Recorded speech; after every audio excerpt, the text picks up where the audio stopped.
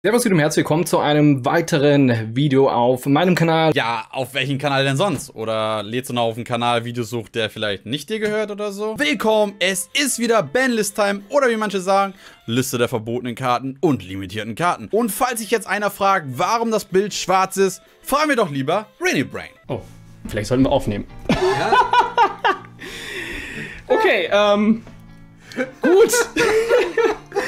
Aber los, heute euch ausnahmsweise mal gute Laune. Was machen wir heute? Ja, wir gucken uns wieder an, was die ganzen YouTuber zu der neuen Verbotsliste gesagt haben und kommentieren das Ganze natürlich in alter Manier. Warum sollte man auch diesen Free-Content nicht einfach mitnehmen? Ich habe doch eben gerade gesagt, ich habe gute Laune und jetzt vermiest du mir die Laune mit so einer Info.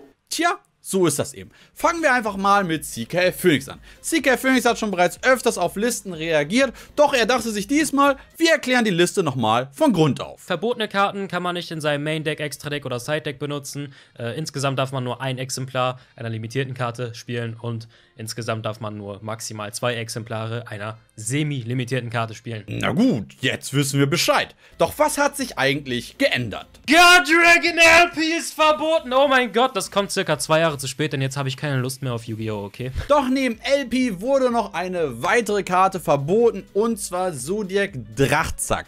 Was kann diese Karte eigentlich nochmal?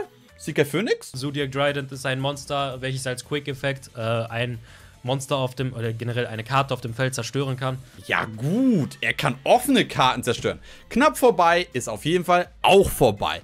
Doch warum ist das eigentlich passiert und was könnte man sagen dazu, warum diese Karte überhaupt verboten wurde? Die Zodiac-Dominanz war unfassbar hoch. Klar, stimmt auf jeden Fall. Zodiac wurde in sehr viele Decks gesplashed, auch wenn man sagen muss, dass Zodiac Drachtzack natürlich nicht die Problemkarte an sich ist. Die Problemkarte ist, Zeus. Aber naja, es ist nicht das erste Mal, dass eine Karte gebannt wird für eben eine andere Karte. Doch kommen wir eigentlich zu der kontroversen Karte dieser Liste. Und zwar Sky Striker Engage ist wieder auf 1 erlaubt. Ähm, was sagen wir zu Engage auf 1?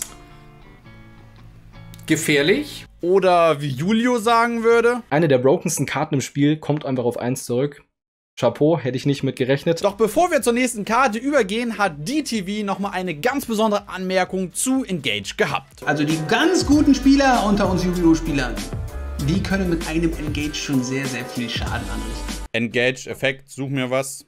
Zieh eine Karte. Boah, bist du ein guter Spieler. Doch machen wir weiter, denn Dragon Link hat noch einen weiteren Hit abbekommen. Um genau zu sein, ist Striker Dragon auf 1 gegangen. Viele haben eh nur einen gespielt. Wait a minute. Wenn man sich jetzt zum Beispiel eine Top-Liste anguckt, dann sieht man, oh, man spielt ihn dreimal. Warum das denn?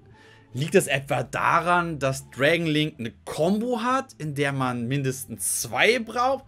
Hm, Nee, ich glaube nicht. Ich glaube, man spielt ihn nur einmal. Der hat einfach Bock, drei zu spielen. Jetzt habe ich einen Aussetzer. Doch was gab es eigentlich noch Spannendes? Ach ja, Wunderhanks ist wieder zurückbekommen und ist jetzt einmal erlaubt. Doch, warum eigentlich? Der war seit zwei Jahren oder so verboten und keiner weiß warum. Salomon Great war nicht mal ansatzweise Meta. Nicht mal ansatzweise. Seit 2019 oder so nicht mehr. Also komm schon. Stimmt, 2020 hat das Deck ja gar nicht getoppt.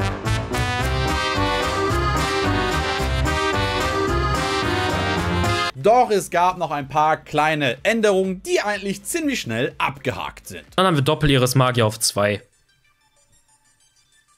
Okay, wen juckt's? Ich weiß gefühlt niemand, warum sie auf 1 war. Und hier nochmal eine kleine Anmerkung, warum diese Karte überhaupt limitiert wurde. Das liegt einfach daran, dass es ein Pflanzen-FDK gab. Denn wenn man Einzelfeuerblütes Effekt nutzt, kann man sich selbst ja holen. Also noch eine Einzelfeuerblüte. So hat man drei Kopien im Friedhof und kann eben Einzelfeuerblüte wieder spezial beschwören und kann eben weiter loopen. Deswegen wurde diese Karte halt limitiert. Jetzt ist sie wieder auf 3 erlaubt. Interessiert keinen, denn der FDK von den Pflanzen gibt es nicht nicht mehr, denn die Karte, die das Ganze verursacht hat, ist verboten. Und der aufmerksame Zuschauer wird jetzt merken, hä? Da fehlt doch noch eine Karte. Die nächste Karte, die auf 1 gegangen ist, ist der gute Faschidosaurier und das macht für mich auch Sinn. Eine der unfairsten Karten im Spiel. Ja, der Faschinosaurus ist jetzt auf 1 und natürlich zu Recht. Ich meine, Dino konnte dadurch durch quasi jede Handtrap spielen und konnte einfach spielen, ohne Angst vor Nibiru oder ähnliches zu haben. Na klar, die Karte ist auf 1 immer noch spielbar und sie ist searchbar, denn wir haben dreimal Oviraptor und wir haben Fossil Dick.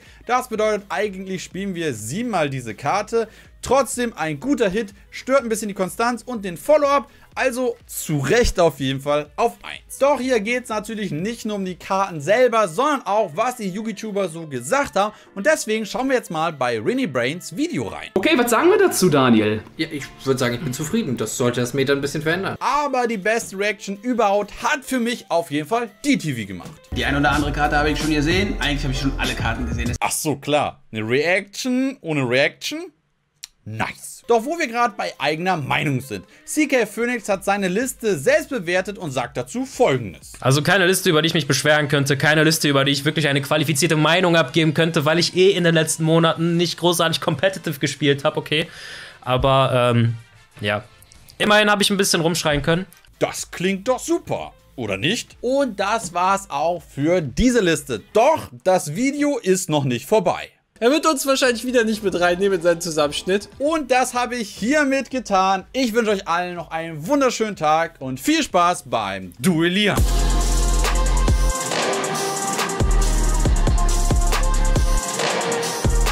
Ich bin echt interessant.